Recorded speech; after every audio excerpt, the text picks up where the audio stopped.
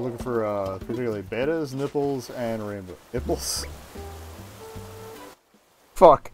All right. I mean, we're looking for nipples, but not in the river.